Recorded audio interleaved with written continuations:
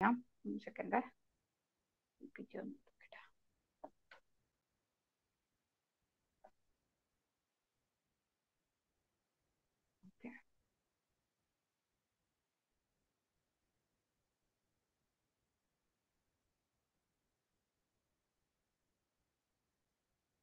Okay അപ്പൊ നമ്മൾ കഴിഞ്ഞ ക്ലാസ്സിൽ നമ്മൾ കുറച്ച് ഡിസൈൻ ഗൈഡ് ലൈൻസ് ഒക്കെ നോക്കിയായിരുന്നു. അതായത് അതെല്ലാം ഇൻഫോർമൽ ആയിട്ടുള്ള ഗൈഡ് ലൈൻസ് ആണ്. അതായത് നമ്മളുടെ അടുത്ത് ഒരിക്കലും നമ്മുടെ അടുത്ത് പറയില്ല. നമ്മുടെ ഡാറ്റാബേസ് മാനേജ്മെന്റ് സിസ്റ്റം ഒരിക്കലും നമ്മളോട് പറയില്ല. ഇങ്ങനെ ഉണ്ടാക്കിയാൽ നിങ്ങളുടെ ഡാറ്റാബേസ് മോശമായിരിക്കും എന്നൊരിക്കലും പറയില്ല. പക്ഷേ നമ്മൾ വേണം ഒരു ഡാറ്റാബേസ് അഡ്മിനിസ്ട്രേറ്റർ അല്ലെങ്കിൽ ഒരു ഡാറ്റാബേസ് ക്രിയേറ്റ് ചെയ്യുന്ന ആരാണോ അയാൾ വേണം ഡിസൈഡ് ചെയ്യാനായിട്ട് എങ്ങനെ ഒരു ഗുഡ് റിലേഷൻ ഡിസൈൻ ഉണ്ടാക്കാം എന്ന് ഡിസൈഡ് ചെയ്യേണ്ടത്. അപ്പൊ നമ്മൾ കുറച്ച് പാരാമീറ്റേഴ്സും കാര്യങ്ങളൊക്കെ കുറച്ച് ഗൈഡ് ലൈൻസും കാര്യങ്ങളൊക്കെ പറഞ്ഞു. അപ്പൊ നമ്മൾ ഇനി പഠിക്കാൻ പോകുന്നത് എങ്ങനെ ഒരു റിലേഷണൽ സ്കീമയുടെ ഗുഡ്നെസ് ഡിസൈൻ ചെയ്യാം ഡിസൈഡ് ചെയ്യാം എന്നുള്ളതാണ് നമ്മൾ നോക്കുന്നത്. അതിന് വേണ്ടിയിട്ടാണ് നമുക്ക് ഫങ്ഷണൽ ഡിപ്പെൻഡൻസീസ് ഉള്ളത്. അപ്പൊ ഫങ്ഷണൽ ഡിപ്പെൻഡൻസീസ് എന്ന് പറയുന്നത് ബേസിക്കലി ഒരു രണ്ട് സെറ്റ് ഓഫ് ആട്രിബ്യൂട്ട്സ് തമ്മിലുള്ള ഡിപ്പെൻഡൻസി കാണിക്കാനാണ്. അതായത് ഇപ്പോ ഞാൻ എക്സാമ്പിൾ ആയിട്ട് പറഞ്ഞായിരുന്നു. ഇപ്പൊ ഒരു എംപ്ലോയി റിലേഷൻ ഉണ്ട് എങ്കിൽ അതിന്റെ അകത്തെ ഇപ്പോ എംപ്ലോയി ഐ ഡി എന്ന് പറയുന്നത് എപ്പോഴും അത് ഒരു പ്രൈമറി കീ ആയിട്ടുള്ള ഒരു വാല്യൂ ആണ് എംപ്ലോയി ഐ ഡി എന്ന് പറയുന്നത്. ഇതിനെ ഡിപ്പെൻഡ് ചെയ്തിരിക്കുന്ന കുറെ ആട്രിബ്യൂട്ട്സ് ഉണ്ട്. ലൈക്ക് എംപ്ലോയി നെയിം എന്ന് പറയുന്നത് ഈ എംപ്ലോയി ഐ ഡിനെ ഡിപ്പെൻഡ് ചെയ്തിട്ടായിരിക്കും ഇരിക്കുന്നത്. ഈ പെർട്ടിക്കുലർ എംപ്ലോയിയുടെ ഏജ് എന്ന് പറയുന്നത് ഇതിനെ ഡിപ്പെൻഡ് ചെയ്തായിരിക്കും ഇരിക്കുന്നത്. അപ്പോ ഇതിൽ നിന്നെല്ലാം നമുക്ക് ഈ ഒരു ആട്രിബ്യൂട്ട്സിനെ ഡിറൈവ് ചെയ്യാനായിട്ട് പറ്റും. അതായത് ഇപ്പൊ എംപ്ലോയി ഐ ഡി ഫൈവ് എന്ന് പറഞ്ഞു കഴിഞ്ഞാൽ ഇതിൽ നിന്ന് നമുക്ക് യുണീക്ക് ആയിട്ടുള്ള ഒരു നെയിമും say employee I D five എന്ന് പറയുന്നത് സാം ആണ്. സാമിന്റെ ഏജ് ട്വന്റി ആണ് എന്നിരിക്കട്ടെ. ഇങ്ങനെയുള്ള ഒരാളെ കാണുകയുള്ളൂ. ഇനി എവിടെയൊക്കെ എംപ്ലോയി ഐ ഡി ഫൈവ് എന്ന് കണ്ടാലും അവിടെയൊക്കെ അയാളുടെ നെയിം എന്ന് പറയുന്നത് സാം എന്നും ഏജ് എന്ന് പറയുന്നത് ട്വന്റി എന്നും ആയിരിക്കണം. ഇതിനെയാണ് നമ്മൾ ഫങ്ഷണൽ ഡിപ്പെൻഡൻസി എന്ന് പറയുന്നത്. അപ്പൊ X functionally determine set of attributes Y ഇവിടെ എക്സും വൈയും എന്നൊക്കെ പറയുന്നത് ഇത് ഒരൊറ്റ ആട്രിബ്യൂട്ട് ആവണമെന്നില്ല. സെറ്റ് ഓഫ് ആട്രിബ്യൂട്ട്സ് ഒക്കെ ആകാം എന്നൊക്കെ ഞാൻ പറഞ്ഞായിരുന്നു.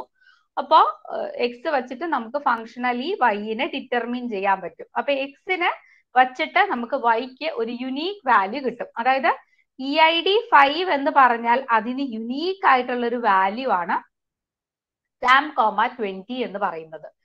ഏത് എവിടെ ആ ടേബിളിൽ നമ്മൾ എംപ്ലോയി ഐ ഡി ഫൈവ് എടുത്താലും ഇതായിരിക്കണം വാല്യൂ അതേസമയം വേറൊരു സ്ഥലത്ത് എംപ്ലോയി ഐ ഡി ഫൈവിന് റാം തേർട്ടി എന്നുണ്ട് എങ്കിൽ അതായത് ഒരേ സാധനത്തിന് രണ്ട് വാല്യൂസ് വരുന്നുണ്ട് എങ്കിൽ ഇങ്ങനൊരു ഡിപ്പെൻഡൻസി ഹോൾഡ് ചെയ്യുന്നില്ല എന്ന് നമുക്ക് പറയേണ്ടതായിട്ട് വരും.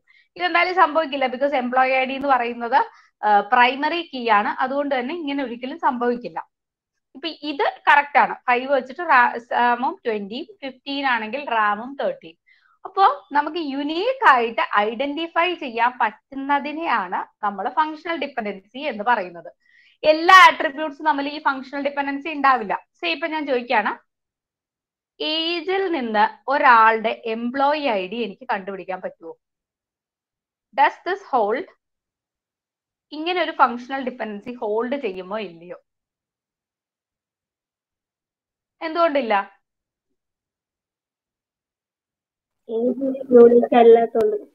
അതെ അതായത് ഇപ്പോ ഇവിടെ ഈ ഒരൊറ്റ കണ്ടീഷൻ നോക്കുകയാണെങ്കിൽ ട്വന്റി വച്ചിട്ട് സാം ആണ് എന്ന് എനിക്ക് കണ്ടുപിടിക്കാം. സാമിന്റെ എംപ്ലോയി ഐ ഡീസ് ഫൈവ് എന്ന് എനിക്ക് കണ്ടുപിടിക്കാം. തേർട്ടി വച്ചിട്ട് എനിക്ക് ഫിഫ്റ്റീൻ ആണെന്ന് കണ്ടുപിടിക്കാം. ഈ ഒരു കേസിൽ ഈ രണ്ടേ രണ്ട് ആട്രിബ്യൂട്ട് ഉള്ളപ്പോൾ കുഴപ്പമൊന്നുമില്ല. പക്ഷെ നമുക്ക് ഉറപ്പൊന്നും പറയാൻ പറ്റില്ല. രണ്ട് എംപ്ലോയീസിന് സെയിം ഏജ് ഉള്ള രണ്ട് എംപ്ലോയീസ് വരാൻ വരില്ല എന്ന് എനിക്ക് ഉറപ്പൊന്നും പറയാൻ പറ്റില്ല. സേ ഇപ്പൊ ഒരു സീത ഉണ്ടായിരുന്നു. സീതയ്ക്കും ഇരുപത് വയസ്സാണ് എങ്കിൽ ഇവിടെ ഇഷ്യൂ വന്നു. ഓക്കെ സാമിന് ഇരുപത് വയസ്സ് സീതയ്ക്ക് ഇരുപത് വയസ്സ്. സീതയുടെ എംപ്ലോയി ഡീസ് ട്വന്റി അപ്പൊ ട്വന്റിക്ക് കറസ്പോണ്ടിങ് ആയിട്ട് രണ്ട് മാച്ച് വന്നു. ഫൈവും ട്വന്റി എന്ന രണ്ട് മാച്ച് വന്നു. ഇങ്ങനെ ഒരിക്കലും വരാൻ പാടില്ല.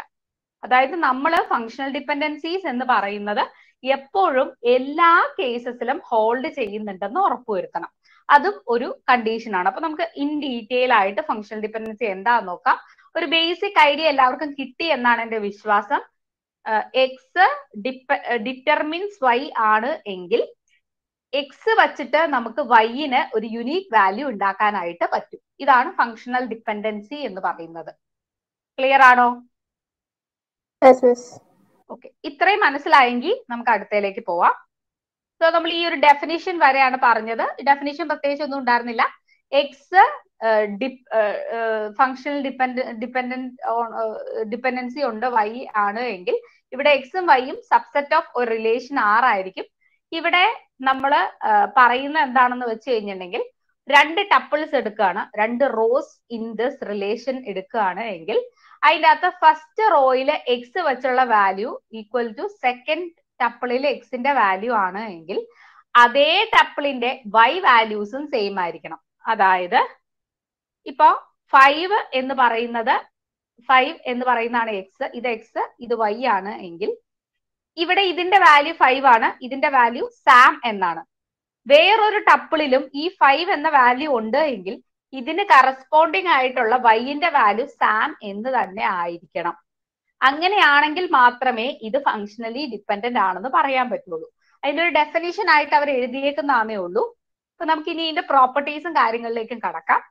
ഇത്രയും ഞാൻ കഴിഞ്ഞ ക്ലാസ്സിൽ പറഞ്ഞതാണ്. So X determines Y hold if whenever two tuples have same value for X then they must have same value for Y എക്സിന് സെയിം വാല്യൂ ആണ് എങ്കിൽ അതേ വാല്യൂ തന്നെ ആയിരിക്കണം ആ രണ്ട് ടപ്പിളിലും വൈന്റെ വാല്യൂ രണ്ട് ടപ്പിൾസ് എടുത്താൽ ഈ ടപ്പിളിൽ എക്സിന്റെ വാല്യൂ ഫൈവ് ആണ് ഈ ടപ്പിളിലും എക്സിന്റെ വാല്യൂ ഫൈവ് ആണ്. ദെൻ ഇവർ തമ്മിൽ ഡിറ്റർമിൻ അതായത് ഫങ്ഷണലി ഡിപ്പെൻഡന്റ് ആണ് എന്ന് പറയണമെങ്കിൽ ഇതിന്റെ വൈന്റെ വാല്യൂസും സെയിം ആയിരിക്കണം. ഇവിടെയും സാം ആണ് ഇവിടെയും സാം ആണ്. അങ്ങനെയാണെങ്കിൽ മാത്രമാണ് ഫങ്ഷണൽ ഡിപ്പെൻഡൻസി ഹോൾഡ് ചെയ്യുന്നുണ്ടെന്ന് പറയാൻ പറ്റുള്ളൂ ഇത്ര ഓക്കെ ആണോ? അവർ പല രീതിക്ക് അത് എഴുതിയേക്കുന്ന നിങ്ങൾക്ക് ബേസിക് ഐഡിയ മനസ്സിലായെങ്കിൽ അത് മതി. ദാറ്റ് ഈസ് ഓക്കെ ഇപ്പൊ T one of X equal to T two of X ആണെങ്കിൽ T one of Y equal to T two of Y ആയിരിക്കണം. എക്സ് ഡിറ്റർമിൻസ് വൈ ആണെങ്കിൽ ഈ എക്സ് എന്ന് ആരോ മാർക്ക് വൈയിലേക്ക് ഇട്ടേക്കുകയാണെങ്കിൽ അതിന്റെ meaning is X determines Y എന്നാണ്. അതിന് അതുകൊണ്ടാണ് ഞാൻ അങ്ങനെ പറയുന്നത്. Y depend on X okay X വൈയിലേക്ക് arrow mark ഇട്ടാൽ ഇതിന്റെ ഇതിന്റെ അർത്ഥം എന്ന് പറഞ്ഞാൽ എക്സ് വച്ചിട്ട് എനിക്ക് വൈനെ ഡിറ്റർമിൻ ചെയ്യാൻ പറ്റും. എക്സ് ഡിറ്റർമിൻസ് വൈ അല്ലെങ്കിൽ Y depends on X okay ഇങ്ങനെ രണ്ട് രീതിക്ക് നമുക്ക് പറയാം. എക്സ് ഡിറ്റർമിൻ വൈ എന്നുള്ള ഈ ഒരു ഇതായിരിക്കും ഞാൻ കൂടുതലും യൂസ് ചെയ്യുന്നത്. എക്സ് ഡിറ്റർമിൻ വൈ എക്സ് വെച്ചിട്ട് എനിക്ക് വൈനെ ഡിറ്റർമിൻ ചെയ്യാം. അല്ലെങ്കിൽ വൈ എക്സിനെ ഡിപ്പെൻഡ് ചെയ്യുന്നു. ഇത് രണ്ടും നിങ്ങൾ ഈ ഒരു പറയുന്ന എന്താണെന്ന് ക്ലിയർ ചെയ്ത് ഒന്ന് എഴുതി വെച്ചോ വേണമെങ്കിൽ. എക്സ് ആരോമാർക്ക് വൈ എന്ന് പറഞ്ഞാൽ എക്സ് ഡിറ്റർമിൻ വൈ എന്നും വൈ അല്ലെങ്കിൽ ഓർ ഓർ ആണേ. Or Y depends on X എന്നാണ് ഇതിന്റെ മീനിങ് ഇപ്പോ x determine y in R specifies a constraint on all relational instance of R of R. അതായത് ഈ എക്സ് ഡിറ്റർമിൻ വൈ എന്ന് പറയുന്നത് നമ്മുടെ റിലേഷനിലെ അല്ലെങ്കിൽ നമ്മുടെ ടേബിളിലെ എല്ലാവർക്കും അത് ആപ്ലിക്കബിൾ ആയിരിക്കണം. ആ കൺസ്ട്രെയിൻ എന്ന് പറയുന്നത് ഒരെണ്ണോ രണ്ടെണ്ണോ ഹോൾഡ് ചെയ്തിട്ട് കാര്യമില്ല. എല്ലാവർക്കും ഹോൾഡ് ചെയ്യണം. എന്നാൽ മാത്രമേ അത് സാറ്റിസ്ഫൈ ചെയ്യുന്നു എന്ന് പറയാൻ പറ്റുള്ളൂ. ഇപ്പൊ പക്ഷേ പറയാണ്. Employee I D name age ഇങ്ങനെ ഒരു ടേബിൾ ഉണ്ട്. Employee I D one name is Sam age is twenty employee D two Ram thirty employee D three again Sam twenty five okay ഇങ്ങനെ ഒരു ഇങ്ങനെ ഒരു സ്കീമ ഉണ്ടെന്നിരിക്കട്ടെ. അല്ലെങ്കിൽ ഇവിടെ ട്വന്റി തന്നെ കടന്നോട്ടെ. ഇപ്പോ ഞാൻ പറയാണ് നെയിം വച്ചിട്ട് എനിക്ക് ഏജിനെ ഡിറൈവ് ചെയ്യാൻ പറ്റും എന്ന് ഞാൻ പറയുകയാണ് നെയിം വെച്ചിട്ട് ഏജിനെ ഡിറൈവ് ചെയ്യാൻ പറ്റുമെന്ന് നോക്കാൻ നേരത്ത് നമ്മൾ ആദ്യം തന്നെ ഈ ടേബിൾ നോക്കുമ്പോൾ ഓക്കെ സാം നോക്കി സാമിന് age twenty that is fine വീണ്ടും സാം ഒരു സ്ഥലത്തൂടെ വന്നിട്ടുണ്ട്. അവിടെയും ഏജ് ട്വന്റി ആണ്. അപ്പൊ കുഴപ്പമില്ല. പിന്നെ റാമിനും ഒരു യുണീക് വാല്യൂ ആണ് തേർട്ടി ഇതുകൊണ്ട് മാത്രം ഈ ഒരു റിലേഷൻ ഹോൾഡ് ചെയ്യുന്നുണ്ടെന്ന് പറയാൻ പറ്റുമോ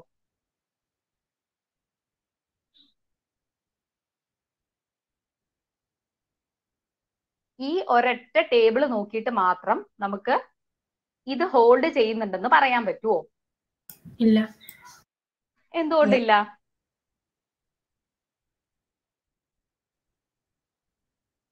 എന്താ നെഹ ഇല്ലാത്ത? സെയിം ഏജ് ഉള്ള വേറെ ആൾക്കാരുണ്ടാവില്ലേ? അതെ സെയിം ഏജ് ഉള്ള അതായത് ഇനി ഒരാൾ സെയിം ഇപ്പൊ ഫോർ എന്ന് പറയുന്ന എംപ്ലോയി ഐ ഡി വെച്ചിട്ട് വീണ്ടും ഒരു സാം വന്നു. അയാളുടെ ഏജ് എന്ന് പറയുന്നത് സേ ട്വന്റി ഫൈവ് ആണ്.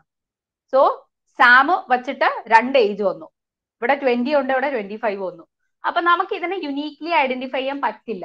അപ്പൊ നമ്മൾ ഈ ഇത് ഇതിന്റെ ഒരു മീനിങ് വെച്ചിട്ട് ആലോചിക്കേണ്ടത്. അല്ലാണ്ട് ഇപ്പൊ ടേബിളിൽ കിടക്കുന്ന വാല്യൂ വെച്ചിട്ടല്ല ഒരിക്കലും ഫങ്ഷണൽ ഡിപ്പെൻഡൻസി പറയുന്നത്.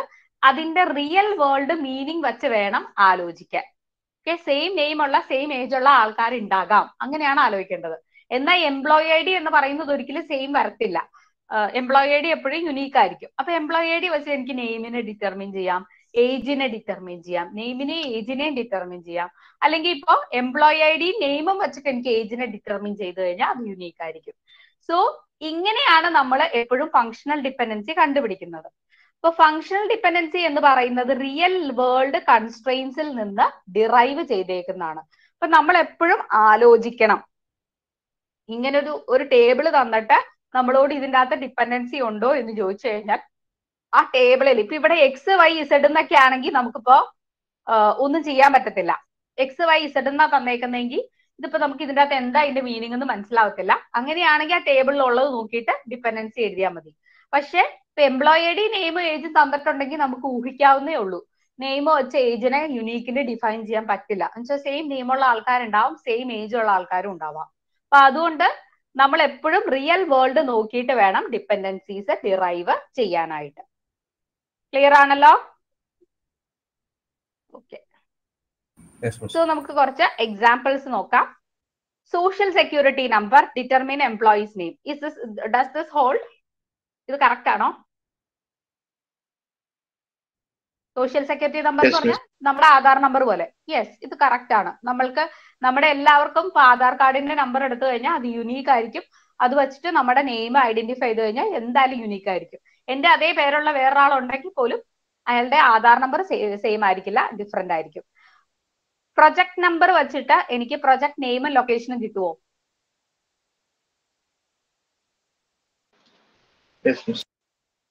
yes project number is primary key ആണ്. എസ് എസ് എന്നും പ്രൊജക്ട് നമ്പറും വെച്ചിട്ട് നമ്പർ ഓഫ് അവേഴ്സ് കിട്ടുമോ ഒരു എംപ്ലോയിയുടെ ഐ ഡിയും അയാളുടെ പ്രൊജക്ടിന്റെ നമ്പറും വെച്ചിട്ട് അയാൾക്ക് എത്ര അവർ വർക്ക് ചെയ്യുന്നു കിട്ടുമോ ഇത് ഈ ആയിരിക്കുമോ ഇല്ല. ഇതൊരു ഏ? ആർദ്ര എന്താ പറഞ്ഞില്ല കിട്ടില്ല. കിട്ടില്ലേ.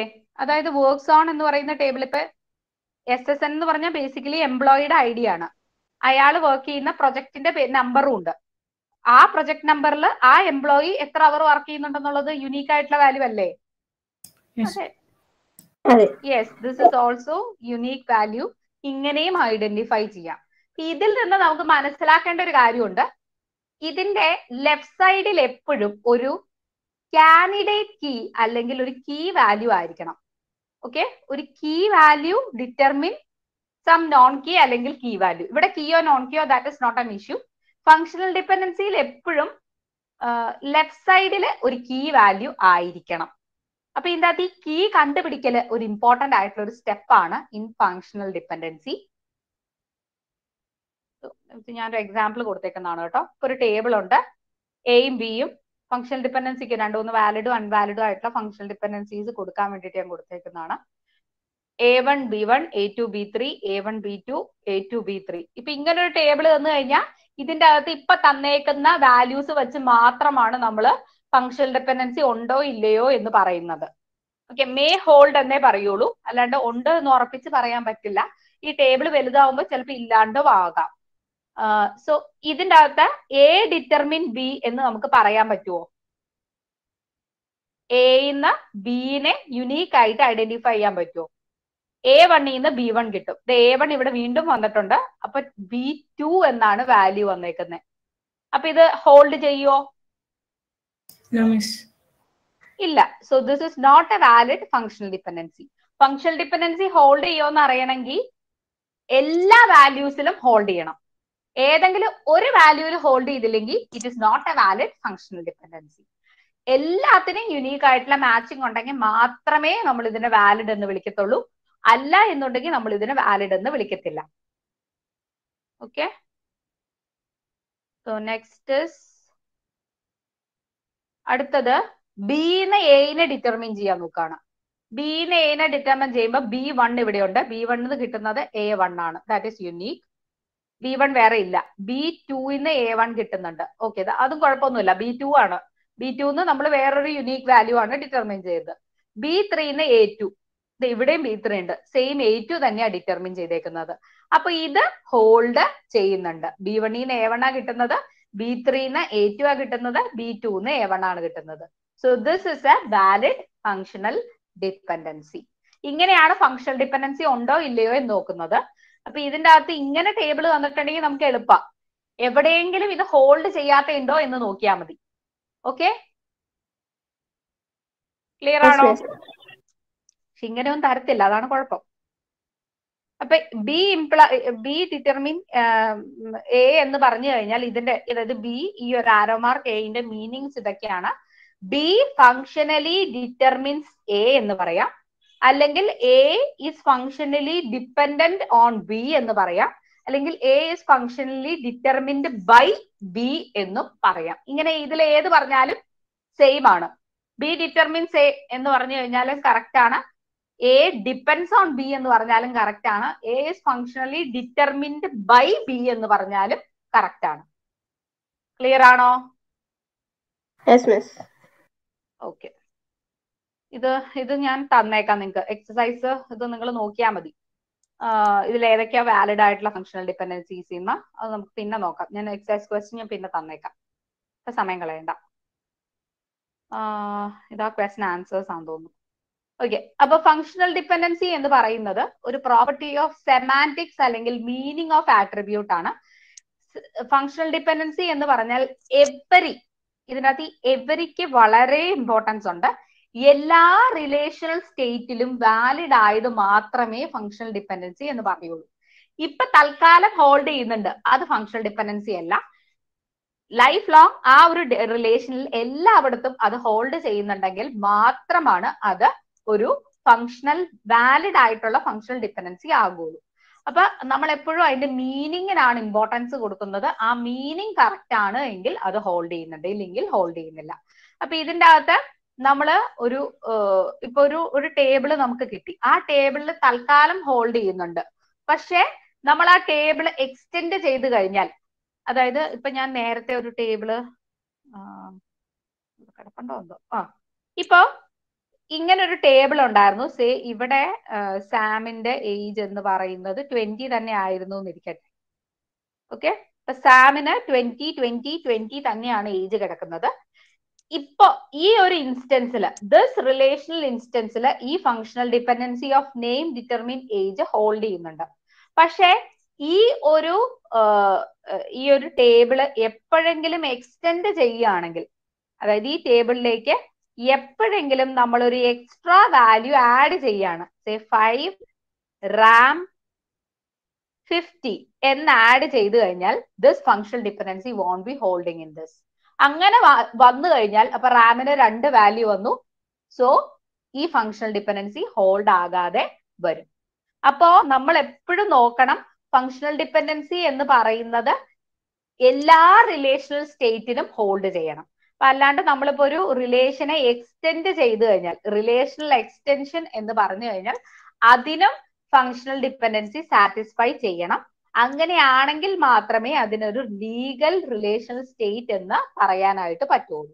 എല്ലാത്തിലും ഹോൾഡ് ചെയ്യണം. അല്ല എന്നുണ്ടെങ്കിൽ അത് വാലിഡ് ആയിട്ടുള്ള ഫങ്ഷണൽ ഡിപ്പെൻഡൻസി ആകത്തില്ല. ക്ലിയർ ആണോ. എപ്പോഴും ഹോൾഡ് ചെയ്യണം. It must hold at all times so a functional dependency is a property of a relation schema R of a particular legal relational state R of R.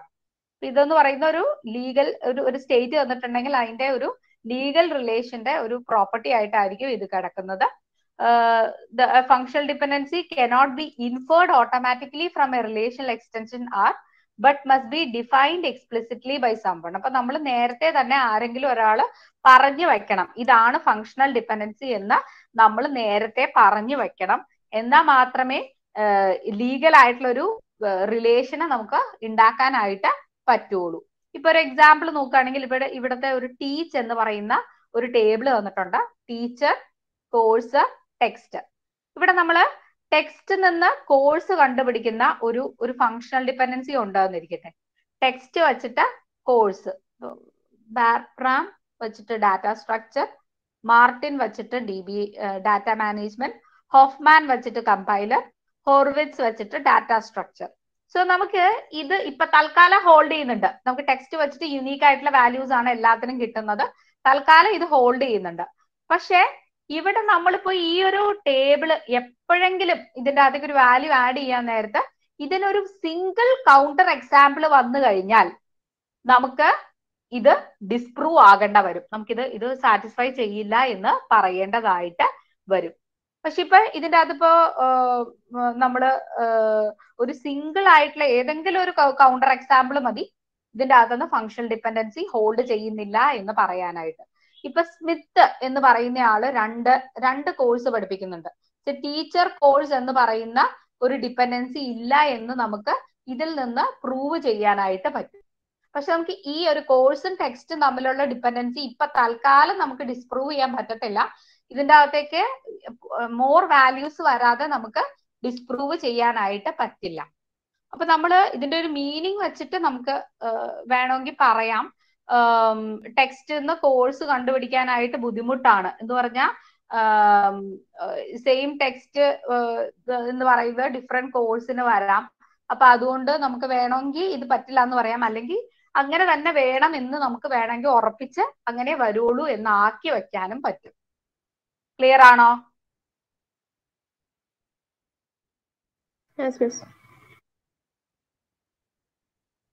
അപ്പൊ ഒരു populated relation വെച്ചിട്ട് മാത്രം നമുക്ക് functional dependencies കണ്ടുപിടിക്കാൻ പറ്റില്ല. നമുക്ക് meaning അറിയണം. എന്നാൽ മാത്രമേ ഫങ്ഷണൽ ഡിപ്പെൻഡൻസി ഉണ്ടോ ഇല്ലയോ എന്ന് പറയാൻ പറ്റുള്ളൂ. നമുക്ക് ആ മീനിങ് ആട്രിബ്യൂട്ട് ക്ലിയർലി അണ്ടർസ്റ്റുഡ് ആവുന്ന വരെ നമുക്ക് ഫങ്ഷണൽ ഡിപ്പെൻഡൻസീസ് ഉറപ്പിച്ച് പറയാനായിട്ട് പറ്റത്തില്ല. ഇപ്പൊ ഒരു functional dependency may hold because for tuples in the current extension have no violation of these constraint ഇപ്പൊ നമുക്ക് ഇങ്ങനെ ഒരു റിലേഷൻ തന്നേക്കാണ് എ ബി സി ഡി തന്നേക്കാണ്. ഇതിന്റെ അകത്ത് ബിയിൽ നിന്ന് സി ഡിറ്റർമിൻ ചെയ്യാൻ പറ്റുമോ? ബി വൺ നിന്ന് സി വൺ ബി ടു നിന്ന് സി ടു ബി ടു നിന്ന് അഗെയിൻ സി ടു തന്നെയാണ് പി ത്രീ സി ഫോർ ഇത് ഹോൾഡ് ചെയ്യുന്നുണ്ട്. സി ഡിറ്റർമിൻ ബി സിന്ന് ബി ഡിറ്റർമിൻ ചെയ്യാൻ പറ്റുന്നുണ്ടോ? സി വൺ നിന്ന് B one C two B two ആണ് C two again B two തന്നെയാണ് സി ഫോർ ബി ത്രീ ഇതും ഹോൾഡ് ചെയ്യുന്നുണ്ട്. ഇതെല്ലാം ഹോൾഡ് ചെയ്യുന്നുണ്ട്. പക്ഷെ ഇതിന്റെ അകത്ത് വയലേഷൻ വരുന്ന എക്സ്റ്റൻഷനും ഉണ്ട്. ഇപ്പൊ എ ഡിറ്റർമിൻ ബി ഹോൾഡ് ചെയ്യുന്നില്ല. പി ഡിറ്റർമിൻ എ അത് ഹോൾഡ് ചെയ്യുന്നില്ല. ഡി ഡിറ്റർമിൻ സി ഹോൾഡ് ചെയ്യുന്നില്ല. സോ നമുക്ക് ഉറപ്പിച്ചൊന്നും പറയാൻ പറ്റുമൊന്നുമില്ല ഇതിന്റെ അകത്തുനിന്ന് ഇപ്പൊ തൽക്കാലം തന്നേക്കുന്നതെന്ന് ഇത്രയും ഹോൾഡ് ചെയ്യുന്നുണ്ട് ഇത്രയും ഹോൾഡ് ചെയ്യുന്നില്ല എന്ന് നമുക്ക് ഉറപ്പിച്ച് പറയാം. അപ്പൊ ഇനി ഈ ഒരു ടേബിളിന് എന്തൊക്കെ സംഭവിച്ചാലും ഈ ഡിപ്പെൻഡൻസീസ് ഒരിക്കലും ഹോൾഡ് ചെയ്യില്ല. അത് നമുക്ക് ഉറപ്പിച്ച് പറയാം. ഇത് മേ ഓർ മേ നോട്ട് അത്രേ പറയാൻ പറ്റുള്ളൂ. This may or may not hold hold എന്നേ പറയാൻ പറ്റുള്ളൂ. ഇത് വിൽ നോട്ട് ഹോൾഡ് എന്ന് ഉറപ്പിച്ച് പറയാൻ പറ്റും. ഓക്കെ ഓക്കെ അല്ലേ? എവിടെയെങ്കിലും ഒരു വയലേഷൻ വന്നാൽ ഉറപ്പിച്ച് നമുക്ക് പറയാം അത് ഹോൾഡ് ചെയ്യില്ല എന്ന്. വയലേഷൻ ഒന്നും ഇല്ല. തൽക്കാലം ഹോൾഡ് ചെയ്യുന്നുണ്ടെങ്കിൽ it may or may not hold എന്നേ പറയാൻ പറ്റുള്ളൂ. അൺലെസ് അതിന്റെ മീനിങ് ക്ലിയർ ആണ് എങ്കിൽ. ക്ലിയർ ആണല്ലോ? Yes, ഇനി നമുക്ക് ടൈപ്പ് ഓഫ് ഫങ്ഷണൽ ഡിപ്പെൻഡൻസി നോക്കാം. ഇതൊക്കെ ഇമ്പോർട്ടന്റ് ആയിട്ടുള്ളതാണ്. നിങ്ങൾ ബേസിക് ഫങ്ഷണൽ ഡിപ്പെൻഡൻസി എന്താന്ന് മനസ്സിലാക്കാനാണ് എത്ര ഡീപ്പായിട്ട് പോകുന്നത് ഇതൊക്കെ ഇത് ഇതെല്ലാം നമുക്ക് ആവശ്യം വരും. ഓക്കെ ഇപ്പൊ first kind of functional dependency is a trivial functional dependency trivial എന്ന് പറഞ്ഞാൽ പ്രത്യേകിച്ച് ഒന്നുമില്ല അതായത് ഒരു dependent always is a subset of a determinant അതായത് എ ഡിറ്റർമിൻ എ എ എന്ന് വെച്ചിട്ട് നമുക്ക് എനെ എന്തായാലും ഡിറ്റർമിൻ ചെയ്യാൻ പറ്റത്തില്ലേ? അതിനെയാണ് നമ്മൾ ട്രിവിയൽ എന്ന് പറയുന്നത്. ഇപ്പൊ ഇ ഐ ഡി വെച്ചിട്ട് എനിക്ക് നെയിം ഡിറ്റർമിൻ ചെയ്യാൻ പറ്റും. എംപ്ലോയിയുടെ ഐ ഡി വെച്ച് എംപ്ലോയിയുടെ നെയിം എനിക്ക് എന്തായാലും ഡിറ്റർമിൻ ചെയ്യാൻ പറ്റും. ഇപ്പൊ ഞാൻ പറയാണ് എംപ്ലോയിയുടെ എംപ്ലോയി ഐ ഡിയും എംപ്ലോയിയുടെ നെയിമും വെച്ചിട്ട് എംപ്ലോയി നെയിം ഡിറ്റർമിൻ ചെയ്യാൻ പറ്റും. ഇതിന് വല്ല മീനിങ്ങും ഉണ്ടോ? ഇവിടെ ഇപ്പൊ ഈ എംപ്ലോയി നെയിം ഇവിടെ എഴുതി വെച്ചുകൊണ്ട് എന്തെങ്കിലും ഗുണമുണ്ടോ? ഇല്ല. ഇല്ല. അതായത് ഇവിടെ നമുക്ക് യൂസ്ഫുൾ ആയിട്ടുള്ള ഒരു ഇൻഫർമേഷനും ഗെറ്റ് ചെയ്യുന്നില്ല. അതിനെയാണ് നമ്മൾ ട്രിവിയൽ ഫങ്ഷണൽ ഡിപ്പെൻഡൻസി എന്ന് പറയുന്നത്. അതായത് ലെഫ്റ്റ് സൈഡിലും റൈറ്റ് സൈഡിലും സെയിം ആട്രിബ്യൂട്ട് വരികയാണെങ്കിൽ that is trivial dependency next is non trivial dependency ഇതാണ് നമുക്ക് ആവശ്യമുള്ള ഡിപ്പെൻഡൻസി അതായത് dependent is strictly not a ഇവിടെ സ്ട്രിക്ട്ലി ഇതൊരു ഇമ്പോർട്ടന്റ് ആണ്. Strictly not a subset of determinant അപ്പൊ ഒരിക്കലും ഡിപ്പെൻഡന്റ് എന്ന് പറയുന്നത് ഡിറ്റർമിനന്റ് സബ്സെറ്റ് ആകാൻ പാടില്ല. അതാണ് trivial non trivial functional dependency എന്ന് പറയുന്നത്. ഓക്കെ നോൺ ട്രിവിയലിൽ ഒരിക്കലും എക്സും വൈയും ഉണ്ടെങ്കിൽ വൈ എന്ന് പറയുന്നത് എക്സിന്റെ സബ്സെറ്റ് ആകാനേ പാടില്ല. അങ്ങനെയാണെങ്കിൽ അത് നോൺ ട്രിവിയൽ ഡിപ്പെൻഡൻസി ആണ്? ക്ലിയർ ആണോ. ഇപ്പൊ ഇവിടെ റോൾ നമ്പർ നെയിം ഏജ് ഉണ്ട്. റോൾ നമ്പർ ഡിറ്റർമിൻ ഏജ് ഇത് നോൺ ട്രിവിയൽ ആണ്. ഇവിടെ റോൾ നമ്പറും നെയിമും തമ്മിൽ വേറെ സബ്സെറ്റ് ഒന്നുമല്ല. അപ്പൊ ഇത് നോൺ ട്രിവിയൽ ആണ് റോൾ നമ്പറും നെയിമിൽ നിന്നും ഏജ് കണ്ടുപിടിക്കാം. റോൾ നമ്പർ കോമ നെയിമിൽ നിന്ന് ഏജ് കണ്ടുപിടിക്കുന്നു. ഇത് നോൺ ട്രിവിയൽ ആണ് ബിക്കോസ് ഇതിൽ ഈ ഏജ് എന്ന് പറയുന്നത് ഈ രണ്ടെണ്ണത്തിന്റെ ഒന്നിന്റെയും സബ്സെറ്റ് അല്ല. അതുകൊണ്ട് നമുക്ക് ഇതും നോൺ ട്രിവിയൽ ആണ് എന്ന് പറയാം. ക്ലിയർ ആണോ. അതേസമയം roll number comma name determine name എന്ന് എഴുതിയാൽ അത് ട്രിവിയൽ ആയി. ഇവിടെ ഉള്ളതിന്റെ ഏതിന്റെങ്കിലും സബ്സെറ്റ് ഇവിടെയും കൂടെ വന്നു കഴിഞ്ഞാൽ ദാറ്റ് ഇസ് ട്രിവിയൽ അല്ലെങ്കിൽ നോൺ ട്രിവിയൽ സ്ട്രിക്ട്ലി നോട്ട് ആണ് കേട്ടോ. സ്ട്രിക്ട്ലി നോട്ട് എ സബ്സെറ്റ് ആണ് എങ്കിൽ അത് നോൺ ട്രിവിയൽ ഇത് നിങ്ങൾ നോട്ട് കംപ്ലീറ്റ് ചെയ്തെടുക്കണം കേട്ടോ. എന്റെ പി പി ടി ഞാൻ അയച്ചു തരാം. അത് വെച്ചിട്ട് നോട്ട് കംപ്ലീറ്റ് ചെയ്തെടുക്കണം.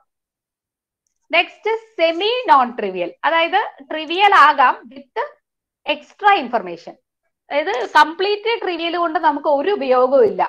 നമുക്ക് ഓൾറെഡി അറിയാവുന്നത് വെച്ചിട്ട് നമുക്കിപ്പോ ഇത് തന്നെ വീണ്ടും എഴുതി വെക്കുന്നതുകൊണ്ട് ഒരു ഉപയോഗവും ഇല്ല.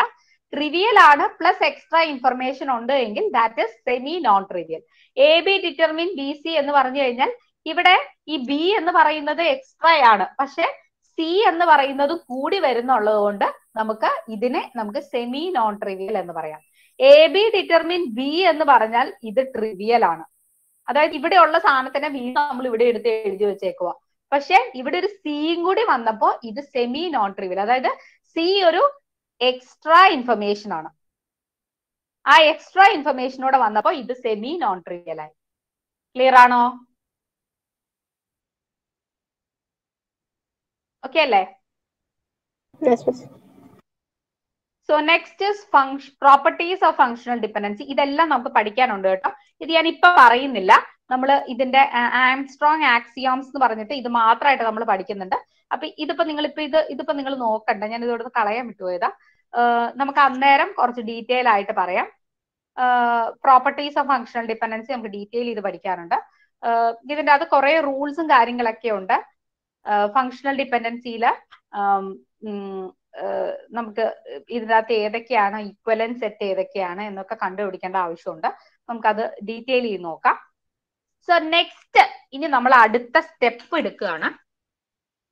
സോ ഈ ഫങ്ഷണൽ ഡിപ്പെൻഡൻസിയിൽ ഒരു ഏറ്റവും ഇമ്പോർട്ടന്റ് ആയിട്ടുള്ള കാര്യം എന്താണെന്ന് വെച്ച് കഴിഞ്ഞാൽ ഫങ്ഷണൽ ഡിപ്പെൻഡൻസീസിൽ എക്സ് ഡിറ്റർമിൻ വൈയിൽ ഈ എക്സ് എപ്പോഴും ഒരു കീ ആയിരിക്കും. എന്നാൽ മാത്രമേ ഈ ഒരു ഡിപ്പെൻഡൻസി ഹോൾഡ് ചെയ്യാനായിട്ട് അതിന് പറ്റത്തുള്ളൂ.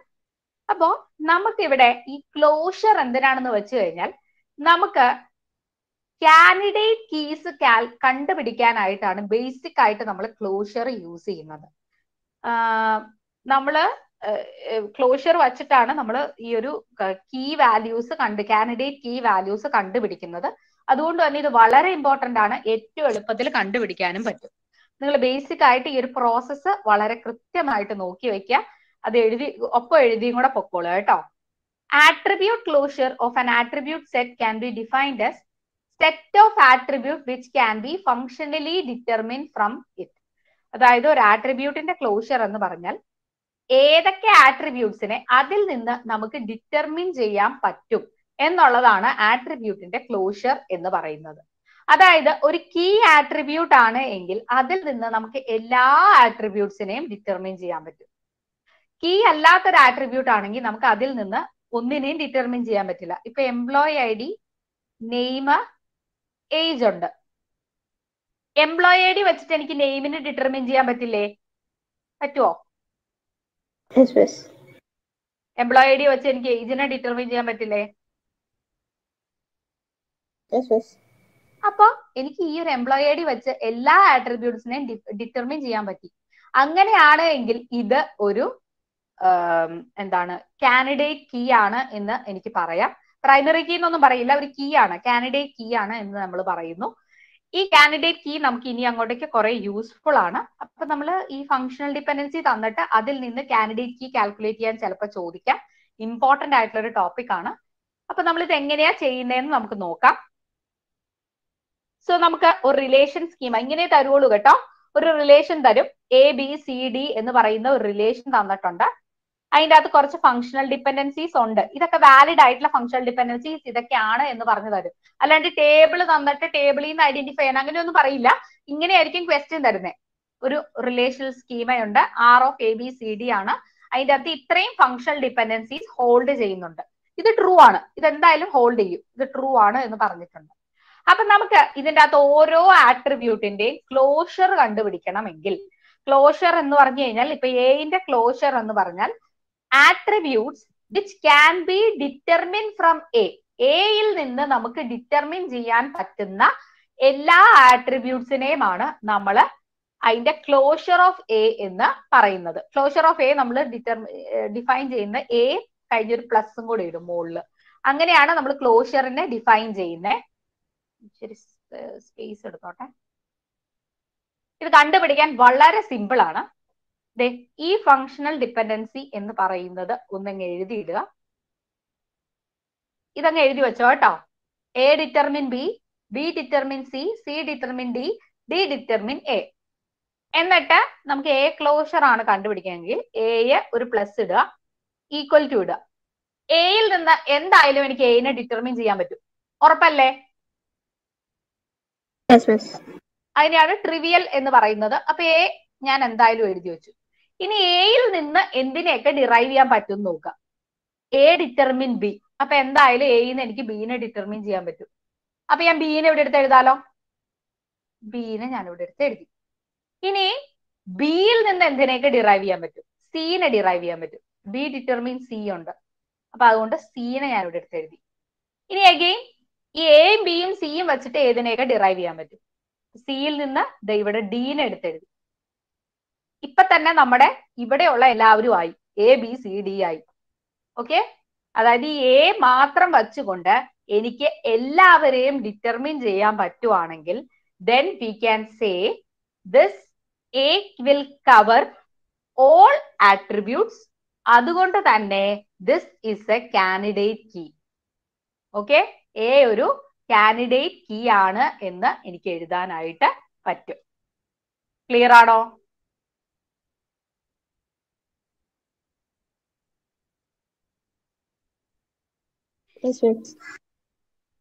ഇനി ബി ക്ലോഷർ എടുത്തു നോക്കാം.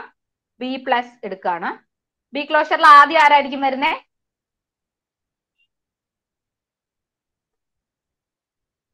ഫസ്റ്റ് ആരെടുത്ത് എഴുതണം? കേട്ടില്ല. ബീനെയാണോ ബീനെ തന്നെ എടുത്ത് എഴുതി. ഇനി അടുത്തത് ബീന്ന് ആരെയൊക്കെ ഡിറൈവ് ചെയ്യാൻ പറ്റും നോക്കുക. ബീന്ന് സീനെ ഡിറൈവ് ചെയ്യാൻ പറ്റും. ഇനി അടുത്തത് ഈ ബിയും സിയും വെച്ചിട്ട് ആരെയൊക്കെ ഡിറൈവ് ചെയ്യാൻ പറ്റും? സി വെച്ചിട്ട് ഡീനെ ഡിറൈവ് ചെയ്യാൻ പറ്റും. അപ്പൊ ഡി എടുത്തെഴുതി ഡി വെച്ചിട്ട് എനെ ഡിറൈവ് ചെയ്യാൻ പറ്റും. എല്ലാരും ആയില്ലേ? അപ്പൊ നമ്മൾ നിർത്തിക്കോളുക. ഇനി ചെയ്യണ്ട. ഓക്കെ ഇനി നമ്മൾ സി ക്ലോഷർ നോക്കുക. സി ക്ലോഷർ എന്ന് പറഞ്ഞാൽ സി ആദ്യം തന്നെ എടുത്ത് എഴുതുക. സിന്ന് ഡീനെ ഡിറൈവ് ചെയ്യാൻ പറ്റും. ഡിന്ന് എനെ ഡിറൈവ് ചെയ്യാൻ പറ്റും. ഇനി നമ്മൾ ശരിക്കും എഴുതണോ? അതായത് എ ഓൾറെഡി ഒരു കീ ആണ്. എ കീ ആണെങ്കിൽ എ കഴിഞ്ഞു കഴിഞ്ഞാൽ എന്തായാലും നമുക്ക് എല്ലാത്തിനെയും ഡിറൈവ് ചെയ്യാൻ പറ്റും. എയിന്ന് എല്ലാത്തിനെയും ഡിറൈവ് ചെയ്യാൻ പറ്റും. പിന്നെ നമ്മൾ ഇത് കഴിഞ്ഞുള്ള സാധനങ്ങൾ എഴുതേണ്ട ആവശ്യമുണ്ടോ? വേണ്ട മിസ് ഇല്ല. അപ്പൊ എഴുതിയില്ലെങ്കിലും കുഴപ്പമില്ല. എഴുതിയാലും കുഴപ്പമൊന്നുമില്ല. ഇതും കീ ആണ്. അപ്പൊ ഈ റൈറ്റ് സൈഡിൽ എവിടെയെങ്കിലും ഓൾറെഡി കണ്ടുപിടിച്ചൊരു കീ വന്നാൽ അവിടെ വെച്ച് നിർത്തിക്കോളാം കേട്ടോ. ഇനി അടുത്തത് ഡി ക്ലോഷർ കണ്ടുപിടിക്കാണ് ഡി ക്ലോഷറിൽ ഡി വന്നു. എ വന്നു. ഇനി ഇത് ഇത് കീ ആണോ അല്ലയോ? കീ ആണ് കീ ആണ് അതായത് എ വന്നു കഴിഞ്ഞാൽ എ ഓൾറെഡി കീ ആണ് ഇനിയിപ്പോ എന്തായാലും ഇതിന്റെ അപ്പുറത്തേക്ക് ബി സി ഡി കിട്ടും. ഉറപ്പായിട്ടും കിട്ടും. എ വെച്ച് എല്ലാത്തിനെയും ഡിറ്റർമിൻ ചെയ്യാൻ പറ്റും. അപ്പൊ പിന്നെ നമ്മൾ പിന്നെ കണ്ടുപിടിക്കേണ്ട കാര്യമില്ല. ഇത് എന്തായാലും കീ ആണ് അതുകൊണ്ട് ഇതും കീ ആണ് so these are the candidate keys of R നമ്മൾ ഇത് എങ്ങനെയാ കണ്ടുപിടിച്ചത്? ക്ലോഷർ വെച്ചിട്ടാണ് ഇതിനെ കണ്ടുപിടിച്ചത്. ക്ലിയർ ആണോ? ഓക്കെ വേറെ ഒരു ഒരു ഈസി വേ ഉണ്ട് ഇത് കണ്ടുപിടിക്കാനായിട്ട്. ഇപ്പൊ നമ്മൾക്ക് ഇതുപോലെ X R of V W X Y Z എന്നൊക്കെ പറഞ്ഞിട്ട് വലിയൊരു റിലേഷൻ ആണ് തന്നേക്കുന്നത്. അതിന്റെ അകത്ത് ഇപ്പൊ ഫങ്ഷണൽ ഡിപ്പെൻഡൻസീസ് എന്ന് പറയുന്നത് V Y determine W W X determine Z Z Y determine V എന്നൊക്കെ പറഞ്ഞിട്ട് തന്നിട്ടുണ്ടെങ്കിൽ നമ്മൾ ഇതുപോലെ V W X Y Z അങ്ങനെ എല്ലാത്തിന്റെയും കണ്ടുപിടിക്കാൻ നിന്നാ ചിലപ്പോ ഒത്തിരി സമയം പോകും. ആഹ് അതിന്റെ അകത്ത് എല്ലാത്തിനും ഇപ്പൊ ഞാൻ വി ക്ലോഷർ മാത്രം എടുത്ത് കാണിച്ചു തരാം. വി ക്ലോഷർ എന്ന് പറഞ്ഞാൽ വി വച്ചിട്ട് വി മാത്രമേ ഡിറ്റർമിൻ ചെയ്യാൻ പറ്റുള്ളൂ. വിയും വൈയും ഉണ്ടെങ്കിലേ എനിക്ക് ഡബ്ല്യു ഡിറ്റർമിൻ ചെയ്യാൻ പറ്റുള്ളൂ. വി മാത്രം വെച്ചിട്ട് എനിക്ക് ഒന്നും ഡിറ്റർമിൻ ചെയ്യാൻ പറ്റത്തില്ല. അപ്പൊ ഇത് കാൻഡിഡേറ്റ് കീ അല്ല. അപ്പൊ നമുക്ക് ഇങ്ങനെ എല്ലാം ഡിറ്റർമിൻ ചെയ്ത് പോവാന്ന് പറയുന്നത് ഭയങ്കര ഡിഫിക്കൽട്ട് ആയിട്ടുള്ള കാര്യമാണ്. അപ്പൊ നമുക്ക് എളുപ്പമുള്ള ഒരു പണി ഞാൻ പറഞ്ഞുതരാം. അതായത് ഇതിനെ അങ്ങ് എഴുതിയിട്ടിട്ട് ഇതിന്റെ റൈറ്റ് സൈഡ് നോക്കുക. റൈറ്റ് സൈഡിൽ ഡബ്ല്യു ഉണ്ട്. അപ്പൊ നമ്മൾ എന്ത് ചെയ്യുക? ഇവിടെ ഈ ഡബ്ല്യുവിന് വെട്ടിക്കളയുക. ഇസഡ് ഉണ്ട്. ഈ ഇസഡിനെയും വെട്ടിക്കളയുക. ഇവിടെ വി ഉണ്ട്. ഈ വിനെയും വെട്ടിക്കളയുക. ഇനി ബാക്കി ആരാ ഉള്ളേ? എക്സും വൈയും ഉണ്ട്. ഈ എക്സും വൈയും will surely be in candidate will surely be in candidate key അതായത് എക്സും വൈയും കാൻഡിഡേറ്റ് കീന്റെ പാർട്ട് ആയിരിക്കും. Will be will surely be part of എഴുതിക്കോ? പാർട്ട് ഓഫ് കാൻഡിഡേറ്റ് കീ എക്സും വൈയും കാൻഡിഡേറ്റ് കീ ആണെന്ന് ഞാൻ ഒരിക്കലും പറഞ്ഞിട്ടില്ല. കാൻഡിഡേറ്റ് കീന്റെ പാർട്ട് ആയിരിക്കും എന്നേ ഞാൻ പറഞ്ഞിട്ടുള്ളൂ. അതായത് ഈ എക്സ് വൈയുടെ കോമ്പിനേഷൻ എടുത്താൽ മതി ഇനി. ഇനി അല്ലാണ്ട് ഇത് ഒന്നേന്ന് എല്ലാത്തിന്റെ കോമ്പിനേഷൻ എടുക്കണ്ട. എക്സും വൈയും കാൻഡിഡേറ്റ് കീയിൽ എന്തായാലും കാണും. അപ്പൊ നമ്മൾ ആദ്യം തന്നെ എന്ത് ചെയ്യുക? എക്സിന്റെ ക്ലോഷർ എടുത്തു നോക്കുക എക്സിന്റെ ക്ലോഷർ എന്ന് പറഞ്ഞാൽ എക്സ് വൈയുടെ ക്ലോഷർ എടുത്തു നോക്കുക എക്സ് വൈന്റെ ക്ലോഷർ എക്സ് വൈന്ന് വേറെ പ്രത്യേകിച്ച് ഒന്നും ഡിറ്റർമിൻ ചെയ്യാൻ പറ്റത്തില്ല. എക്സ് വൈ തന്നെയാണ്. അപ്പൊ ഇത് കാൻഡിഡേറ്റ് കീ അല്ല. ഇനി അടുത്തത് എക്സ് വൈയിൽ നിന്ന് എക്സ് വി എക്സ് വൈ എടുക്കുക. വി എക്സ് വൈ വി വൈന്ന് നമുക്ക് ഡബ്ല്യു കിട്ടും. ആദ്യം ഇത് അങ്ങനെ തന്നെ എടുത്ത് എഴുതുക. വി എക്സ് വൈ എന്ന് എടുക്കുക. വി വൈന്ന് നമുക്ക് ഡബ്ല്യു കിട്ടും. അപ്പൊ ഡബ്ല്യുവിന് എടുത്തെഴുതി. ഇനി ഡബ്ല്യു എക്സിന്ന് ദേ ഇത് ഡബ്ല്യു ഉണ്ട് എക്സും ഉണ്ട്. ഇതിൽ നിന്ന് എനിക്ക് ഇസഡിനെ കിട്ടും. ഇസഡ് എടുത്തെഴുതി. ഇസ് ആ ഇപ്പൊ എല്ലാം ആയില്ലേ V W X Y Z എല്ലാരും ആയി then we can say this is a candidate ഇങ്ങനെ വേണം എടുക്കാനായിട്ട്. ക്ലിയർ ആണോ?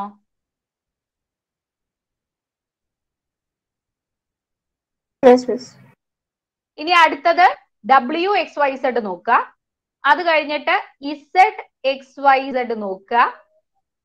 ഇതിന്റെ അകത്ത് ഏതൊക്കെയാണ് കാൻഡിഡേറ്റ് കീസ് നോക്കുക. ഇങ്ങനെയാണ് നമ്മൾ കാൻഡിഡേറ്റ് കീസ് സാധാരണ കാൽക്കുലേറ്റ് ചെയ്യുന്നത്. നിങ്ങൾ കാൻഡിഡേറ്റ് കീ കാൽക്കുലേറ്റ് ചെയ്യാനും ചോദിക്കത്തില്ലായിരിക്കും. പക്ഷെ നമുക്കിത് ആവശ്യമുണ്ട്.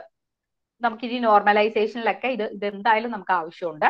So this is an important part ഇത് നിങ്ങൾ ചെയ്ത് തന്നെ നോക്കുക. ഇത് ഇത് കഴിഞ്ഞിട്ട് ഇനി അങ്ങോട്ടേക്ക് കുറെ ചെയ്യാൻ കേട്ടോ. ഇപ്പൊ ഇത് കാൻഡിഡേറ്റ് കീ ആണോ നോക്കുക. Z X Y Z candidate key ആണോ? Z X Y sorry X Y Z ഇല്ലേ? Z X Y candidate key ആണോ? ഇസഡ് വൈന്ന് വി കിട്ടും. വി വൈന്ന് ഡബ്ല്യു കിട്ടും. ഡബ്ല്യു എക്സ് ഇന്ന് Z okay X X Y W B W X Y Z so this is also a candidate key അപ്പൊ ഇവർ മൂന്ന് പേരാണ് കാൻഡിഡേറ്റ് കീ ഇനി ഇവരുടെ ത്രീ കോമ്പിനേഷൻ എടുക്കേണ്ട കാര്യമില്ല ബിക്കോസ് ഇവർ ഓൾമോസ്റ്റ് എല്ലാവരും വന്നതുകൊണ്ട് നമ്മൾ ത്രീ കോമ്പിനേഷൻ എടുക്കുന്നില്ല. നമ്മൾ ഇതുപോലെ കോമ്പിനേഷൻ എടുത്ത് കോമ്പിനേഷൻ എടുത്താണ് പോകുന്നത്. സോ ദിസ് ഇസ് ഹൗ നമ്മൾ കാൻഡിഡേറ്റ് കീസിനെ കണ്ടുപിടിക്കുന്നത് യൂസിങ് ക്ലോഷർ ക്ലിയർ ആണല്ലോ? ആർക്കെങ്കിലും ഡൗട്ട് ഉണ്ടോ? ഇത് ചെയ്ത് നോക്കണം കേട്ടോ. Continue ചെയ്യുവാണേ. Ardra? Okay, miss. So next is Armstrong's axiom in functional dependency അതായത് നമുക്ക് കുറച്ച് റൂൾസ് നമ്മൾ പറയുവാണ്. ആക്സിയോംസ് മീൻസ് റൂൾസ് ആണ്.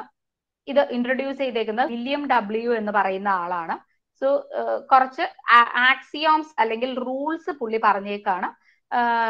ഈ ഫങ്ഷണൽ ഡിപ്പെൻഡൻസിയിൽ വരാവുന്ന കുറച്ച് റൂൾസ് ഇത് എല്ലാം ഇംപ്ലിക്കേഷൻസ് ഓഫ് ഫങ്ഷണൽ ഡിപ്പെൻഡൻസി ആണ്. ഇങ്ങനത്തെ കുറച്ച് റൂൾസ് വന്നു കഴിഞ്ഞാൽ this means this is a functional dependency ഇത് കറക്റ്റ് ആയിട്ടുള്ള ഒരു ഫങ്ഷണൽ ഡിപ്പെൻഡൻസി ആയിരിക്കും എന്നാണ് നമ്മൾ പറയുന്നത്. ഇപ്പൊ എഫ് ഒരു സെറ്റ് ഓഫ് ഫങ്ഷണൽ ഡിപ്പെൻഡൻസീസ് ആണ് എങ്കിൽ ക്ലോഷർ ഓഫ് എഫ് എന്ന് പറഞ്ഞിരുന്നത് നമ്മൾ എഫ് ക്ലോഷർ എഫ് പ്ലസ് എന്നെടുത്തു. അത് എന്ന് പറഞ്ഞാൽ set of all functional dependencies logically implied by F എന്നാണ് അതിന്റെ മീനിങ് നമ്മൾ നേരത്തെ എ ക്ലോഷർ എന്ന് പറഞ്ഞാൽ എയിൽ നിന്ന് ഫങ്ഷണലി ഡിറ്റർമിൻ ചെയ്യാൻ പറ്റുന്ന എല്ലാ ആട്രിബ്യൂട്ട്സിനെയുമാണ് നമ്മൾ എ ക്ലോഷർ എന്ന് പറയുന്നത്. അതുപോലെ തന്നെ നമുക്ക് ഫങ്ഷണൽ ഡിപ്പെൻഡൻസിയുടെയും ക്ലോഷർ എടുക്കാം. അതായത് ഈ പർട്ടിക്കുലർ ഫങ്ഷണൽ ഡിപ്പെൻഡൻസിയിൽ നിന്ന് ഇംപ്ലൈ ചെയ്യാൻ പറ്റുന്ന എല്ലാ ഫങ്ഷണൽ ഡിപ്പെൻഡൻസീസിന്റെയും സെറ്റിനെയാണ് നമ്മൾ ക്ലോഷർ ഓഫ് എഫ് എന്ന് പറയുന്നത്. ഇതിപ്പോ നിങ്ങൾ ഒന്ന് ഒന്ന് മൈൻഡിൽ വെച്ചാൽ മതി. നമുക്ക് നോക്കാം. എങ്ങനെയാണ് എന്താണ് എന്നൊക്കെ നമുക്ക് നോക്കാം. എ ക്ലോഷർ എന്ന് പറയുന്നത് ആട്രിബ്യൂട്ട്സിന്റെ ക്ലോഷർ ആണ്. അതായത് ഗിവൺ എ ഫങ്ഷണൽ ഡിപ്പെൻഡൻസി ഈ ആട്രിബ്യൂട്ട് വെച്ചിട്ട് നമുക്ക് ഏതൊക്കെ ആട്രിബ്യൂട്ട്സിനെ ഡിറൈവ് ചെയ്യാൻ പറ്റും? അതാണ് എ ക്ലോഷർ എന്ന് പറയുന്നത്. ഇനി നമ്മൾ കണ്ടുപിടിക്കാൻ പോകുന്നത് ഒരു ഫങ്ഷണൽ ഡിപ്പെൻഡൻസി ഇപ്പൊ ദേ ഇവിടെ ഒരു ഫങ്ഷണൽ ഡിപ്പെൻഡൻസി വന്നിട്ടുണ്ട്.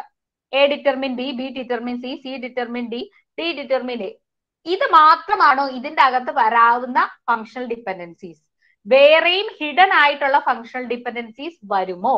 അത് കണ്ടുപിടിക്കാനാണ് നമുക്ക് ഈ ആംസ്ട്രോങ്സ് ആക്സിയോംസ് യൂസ് ചെയ്യുന്നത്.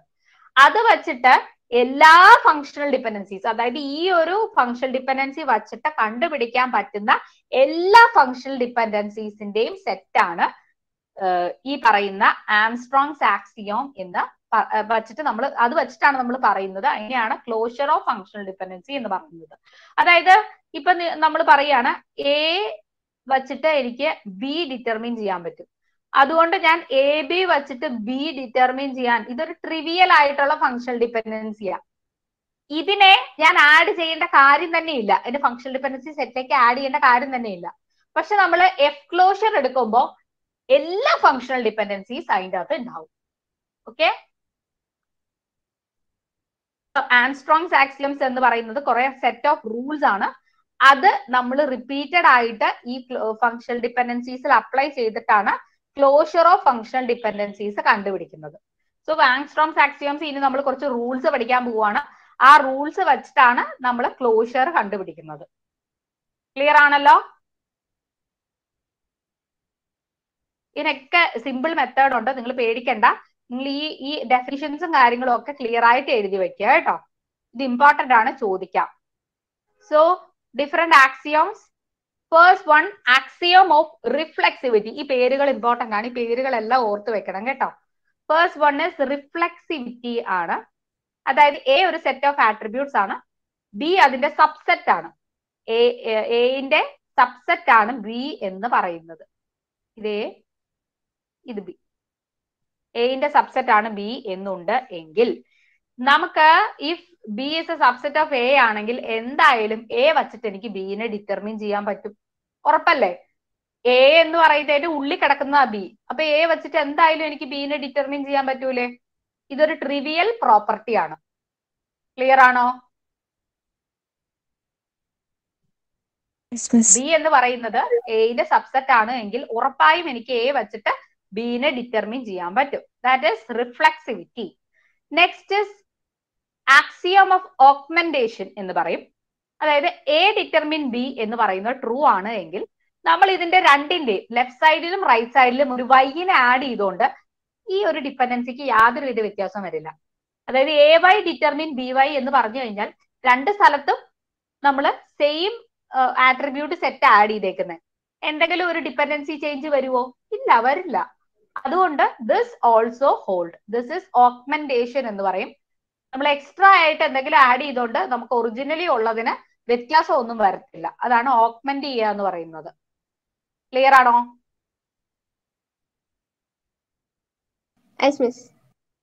നെക്സ്റ്റ് ട്രാൻസിറ്റിവിറ്റി ട്രാൻസിറ്റിവിറ്റി എന്തായിരിക്കും?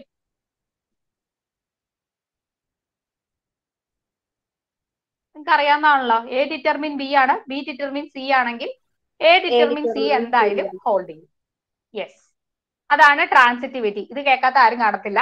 എന്തായാലും ഹോൾഡ് ചെയ്യും. അപ്പൊ ഇതൊക്കെ ഓർത്ത് വെക്കാൻ ബി സബ്സെറ്റ് ഓഫ് എ ആണെങ്കിൽ ഉറപ്പായിട്ടും എയിൽ നിന്ന് ബിനെ ഡിറ്റർമിൻ ചെയ്യാൻ പറ്റും. എ ഡിറ്റർമിൻ ബി ട്രൂ ആണ് എങ്കിൽ അതിന്റെ ലെഫ്റ്റിലും റൈറ്റിലും ഏത് ആട്രിബ്യൂട്ട് സെറ്റ് ആഡ് ചെയ്താലും അത് ഹോൾഡ് ചെയ്യും. A Y determine B Y എന്ന് പറയുന്നത് ഹോൾഡ് ചെയ്യും. A determine B B determine C ആണെങ്കിൽ എ ഡിറ്റർമിൻ സി എന്ന് പറയുന്നതും ഹോൾഡ് ചെയ്യും. ഇനി കുറച്ച് സെക്കൻഡറി ഇതാണ് മെയിൻ റൂൾസ് ഇതൊക്കെയാണ്. ഇനി കുറച്ച് സെക്കൻഡറി റൂൾസ് ഉണ്ട്. First one is union union എന്ന് പറഞ്ഞാൽ എ ഡിറ്റർമിൻ ബി ഹോൾഡ് ചെയ്യുന്നുണ്ട്. എ ഡിറ്റർമിൻ സിയും ഹോൾഡ് ചെയ്യുന്നുണ്ട്. എന്ന് ബിയും ഡിറ്റർമിൻ ചെയ്യാൻ പറ്റും സിയും ഡിറ്റർമിൻ ചെയ്യാൻ പറ്റും. അങ്ങനെയാണ് ഇതിന് രണ്ടിനെയും കൂടെ ഒരുമിച്ചാക്കി എ ഡിറ്റർമിൻ ബി സിയും ഹോൾഡ് ചെയ്യുന്നുണ്ട്. അത് നമുക്ക് ഉറപ്പിച്ച് പറയാൻ പറ്റും. ക്ലിയർ ആണോ? എക്സിന്ന് Yes, വൈ ഡിറ്റർമിൻ ചെയ്യാം. എക്സിന്ന് ഇസഡും ഡിറ്റർമിൻ ചെയ്യാമെങ്കിൽ എക്സിന്ന് വൈ ഇസഡ് ഡിറ്റർമിൻ ചെയ്യാൻ പറ്റും. നെക്സ്റ്റ് കോമ്പോസിഷൻ അതായത് എന്ന് ബി ഡിറ്റർമിൻ ചെയ്യാൻ പറ്റും. എക്സിന്ന് വൈ ഡിറ്റർമിൻ ചെയ്യാൻ പറ്റുമെങ്കിൽ ഇതിന്റെ രണ്ടിനെയും കൂടെ ഒരുമിച്ച് ആക്കിയിട്ട് എ എക്സിൽ നിന്ന് ബി വൈ ഹോൾഡ് ചെയ്യുന്നു എന്ന് നമുക്ക് പറയാൻ പറ്റും. ക്ലിയർ ആണോ? എന്ന് ബിയും എക്സിന്ന് വൈ ഉണ്ടെങ്കിൽ രണ്ടിനും എയും എക്സ് ഒരുമിച്ചാക്കി ബിയും വൈ ഒരുമിച്ചാക്കി നമുക്ക് ഹോൾഡ് ചെയ്യുന്നുണ്ടെന്ന് പറയാം. ക്ലിയർ അല്ലേ? അടുത്തത് ഇനി നമ്മൾ നേരത്തെ ഒരുമിച്ചാക്കിയതിനെ ഡീകമ്പോസ് ചെയ്യാണ്. അതായത് എ ഡിറ്റർമിൻ ബി സി എന്നുണ്ട് എങ്കിൽ ഇതിനെ ഇതിന്റെ നേരെ ഓപ്പോസിറ്റ് ആണ് കേട്ടോ ഡീകമ്പോസിഷൻ ഇതിനെ നമുക്ക് എ ഡിറ്റർമിൻ ബി എന്നും എ ഡിറ്റർമിൻ സി എന്നും നമുക്ക് ആക്കാനായിട്ട് പറ്റും. ക്ലിയർ ആണോ. അടുത്തത് സ്യൂഡോ ട്രാൻസിറ്റിവിറ്റി എന്ന് പറയും. എ ഡിറ്റർമിൻ ബി ഹോൾഡ് ചെയ്യുന്നുണ്ട്. B C determine D hold ചെയ്യുന്നുണ്ട്. അങ്ങനെയാണെങ്കിൽ നമുക്ക് എ സി ഡിറ്റർമിൻ ഡി എന്നത് ഹോൾഡ് ചെയ്യാൻ പറ്റും. നമ്മുടെ ട്രാൻസിറ്റിവിറ്റി തന്നെ ഇവിടെ ഒരു എക്സ്ട്രാ ആട്രിബ്യൂട്ട് ഇവിടെ വന്നിട്ടുണ്ടെന്നേ ഉള്ളൂ. അത് മാത്രമേ ഉള്ളൂ. എ ഡിറ്റർമിൻ ബിയും ഉണ്ട്. B determine B C determine ഡിയും ആണെങ്കിൽ ഇവിടെ നമുക്ക് എ സി ഡിറ്റർമിൻ ഡി എന്നുള്ളത് ഹോൾഡ് ചെയ്യുന്നുണ്ടെന്ന് പറയാൻ പറ്റും. ക്ലിയർ ആണോ? ഒരു സി അവിടെ എക്സ്ട്രാ വന്നേ ഉള്ളൂ. That is it okay so these are Armstrong's axiom ഇതൊക്കെ വെച്ചിട്ടാണ് നമ്മൾ ക്ലോഷർ ഓഫ് ഫങ്ഷണൽ ഡിപ്പെൻഡൻസി കണ്ടുപിടിക്കുന്നത്. ഓക്കെ. ഇത് ഒരു സൗണ്ട് ആൻഡ് കംപ്ലീറ്റ് മെത്തേഡ് ആണെന്നാണ് പറയുന്നത്. ഈ ഈ റൂൾസ് ഒക്കെ വെച്ചിട്ട് നമുക്ക് ഫങ്ഷണൽ ഡിപ്പെൻഡൻസീസ് എന്തായാലും സാറ്റിസ്ഫൈ ചെയ്യുന്ന എല്ലാ ഫങ്ഷണൽ ഡിപ്പെൻഡൻസി സ്റ്റേറ്റ്സും നമുക്ക് കിട്ടും. അതുകൊണ്ട് ഇത് കംപ്ലീറ്റ് ആയിട്ടുള്ള സൗണ്ട് ആൻഡ് കംപ്ലീറ്റ് ആയിട്ടുള്ള ഒരു റൂളാണ് ഈ ആംസ്ട്രോങ്സ് ആക്സിയോം എന്ന് പറയുന്നത്. ഇത് ഈ റൂൾസ് വെച്ചിട്ട് ഇൻഫർ ചെയ്യാൻ പറ്റുന്നത് അല്ലാതെ വേറെ ഡിപ്പെൻഡൻസീസ് ഒന്നും നമുക്ക് കിട്ടത്തില്ല. അതുകൊണ്ട് ഇത് കംപ്ലീറ്റ് ആയിരിക്കും. ഓക്കെ സോ ദാറ്റ്സ് ഇറ്റ് ഇനി അടുത്ത ക്ലാസ്സിൽ നമുക്ക് equivalent set of functional dependencies നോക്കാം. അപ്പൊ നിങ്ങൾ നെക്സ്റ്റ് ക്ലാസ്സിൽ വരുമ്പോൾ you should be familiar with functional dependency എന്താണ്? ക്ലോഷർ ഓഫ് സെറ്റ് കണ്ടുപിടിക്കുന്നത് എങ്ങനെയാണ്? പിന്നെ ആംസ്ട്രോങ്സ് ആക്സിയോംസ് നോക്കിയിട്ട് വരാം. അത്രയും നിങ്ങളുടെ നോട്ട് കംപ്ലീറ്റ് ആക്കി വെക്കുക so that's it. Recording stop ചെയ്തോളൂ കേട്ടോ. ഓക്കെ.